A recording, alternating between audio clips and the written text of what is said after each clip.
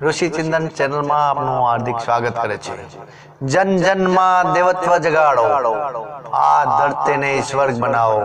યુગ ઋષિ પંડિત શ્રી રામ શર્મા આચાર્ય યુગ નિર્માણ યોજનાનો ઉદ્દેશ જાહેર કર્યો કે મારા પ્રત્યક્ષ મનુષ્ય અને દેવતા અને ધરતીને સ્વર્ગ બનાવીએ. આજની વિષમ પરિસ્થિતિઓમાં આ સંકલ્પને સિદ્ધ કરવા ઋષિ ચિંતન ચેનલના માધ્યમથી જ્ઞાન રૂપી ગંગા ઇન્ટરનેટ જગતમાં પીરસવાનો અવસર પ્રાપ્ત થયેલ છે.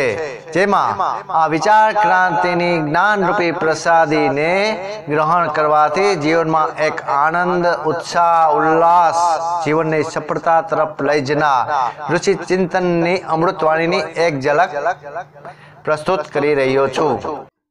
આજનો વિષય છે, તમે પોતાને ઓળખો. જેણે પોતાને ઓળખ્યો છે, તેણે નિસંકોચ પોતાના પ્રભુને ઓળખી લીધા છે તથા પ્રભુએ પણ કહે છે કે, માએ મારા લક્ષણ બધા જીવોના હૃદયમાં સ્થાપિત કર્યા છે. જેનાથી તે પોતાને ઓળખે અને પછી મને ઓળખે. હે ભાઈ, તારી આજુબાજુ એવું કોઈ નથી જેને ઓળખવું તારા માટે પોતાને ઓળખવા કરતા વધારે મહત્વ હોય. જ્યારે હું પોતાને જ નથી ઓળખતો, પછી બીજાને કેવી રીતે ઓળખીશ? ક્યારેક તું એવું કહીશ કે હું પોતાને ઓળખું છું, તો તારું આ વાક્ય સાચું નથી, કારણ કે જે રૂપમાં તું પોતાને ઓળખે છે, તે ઓળખ શ્રી ભગવાનની ઓળખવાની ચાવી નથી.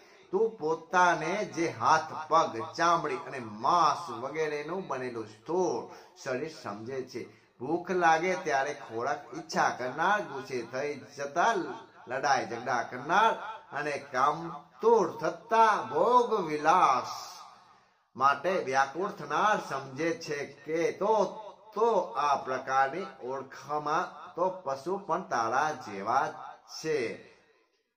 છેલ્લે તારે એ સાચું જ્ઞાન પ્રાપ્ત કરવું જોઈએ કે હું કોણ છું?